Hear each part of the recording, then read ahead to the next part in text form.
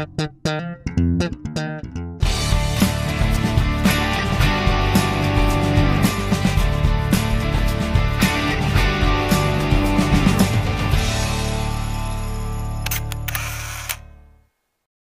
hola amigos y amigas, ya estamos en el capítulo número 6, estoy muy contento de haber llegado hasta acá, gracias por todos sus comentarios. Eh, yo quisiera retomar un poquito y hablar sobre la importancia que hemos visto eh, desde el capítulo 3 hasta el capítulo 6.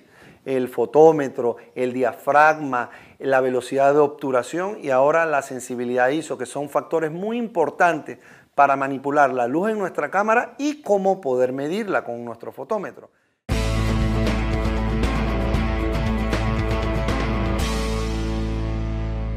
La sensibilidad ISO, al igual que todos los demás elementos, aparece indicada por un número en la pantalla de nuestra cámara.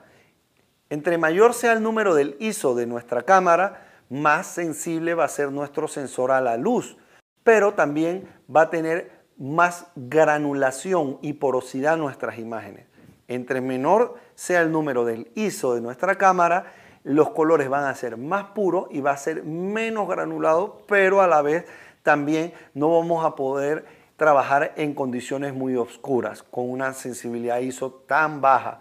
Así que ya saben, con el control ISO de la cámara usted puede trabajar con un ISO desde 100, hay cámaras que trabajan hasta 8000, 20000 y últimamente hay cámaras que están trabajando hasta 50000 ISO. Hay que, bueno, ya hemos llegado hasta este punto, yo estoy muy contento, sigan practicando con su velocidad de obturación, su diafragma, la sensibilidad ISO de la cámara y uniendo todos estos elementos podemos conseguir elementos muy profesionales en nuestras fotos.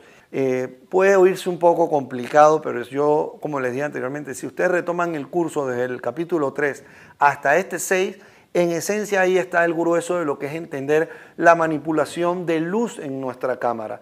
Luego vamos a ir hablando de otras cosas como profundidad de campo, el balance de blanco. Eso lo vamos a ver en los siguientes capítulos. Hay que nos vemos en el siguiente capítulo. Hasta luego. Chao.